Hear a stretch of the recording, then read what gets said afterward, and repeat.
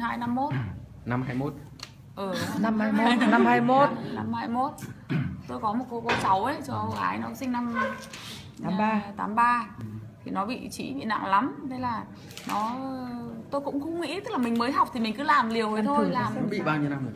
Nó cháu bị lâu. lâu rồi. À. vâng nó khi mà nó chữa là chuyên môn tụt ra ngoài. Đổ ra sợ lắm.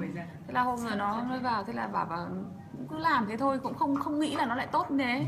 Là bảo vào là lấy cháu lấy tôi, tôi sẽ lấy trong quyển cái, cái um, chữa trị ở trong chiều có vạn năng này. Thì mình lúc đấy mình chưa học biết tìm các huyệt tìm rất là khó.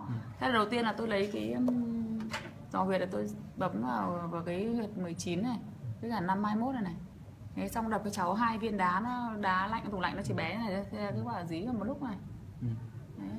Thì tôi không nghĩ tôi nói nó đỡ nhiều lắm nó đang rất là rát rất là đau. Thì mà mà nó nó đỡ hẳn đi ấy. Đấy, làm lần. làm có một lần thôi. Làm có một lần trong khoảng mấy phút thôi hai phút thôi.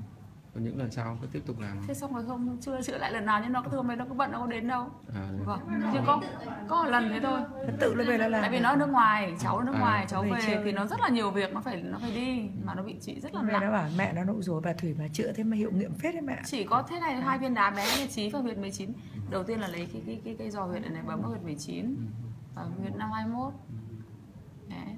Thế xong rồi à, áp đá. vâng áp đá. Hai cục cùng một hai một cục một Một lúc ra áp và áp đá vào đây. À, rồi. Hai viên đá thì nhỏ bằng cái đầu ngón tay út để thôi này tại sợ lạnh mà thế là cứ gì vào đây một lúc.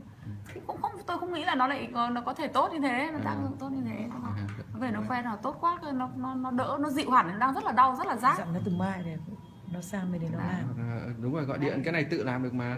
Không quan trọng chỉ biết áp đá vào đây là nó trúng cả cái vùng này rồi. Vâng không cũng hướng dẫn cho cháu thế tức là cháu hướng dẫn luôn là cháu về cháu chỉ cần lấy hai này đá, cầm một này lúc. hậu môn này. Này áp một lúc vào đây thôi này. áp một lúc một liền một lúc cả hai nơi thì hai huyệt thế này này. Vâng. Thế nó co lên.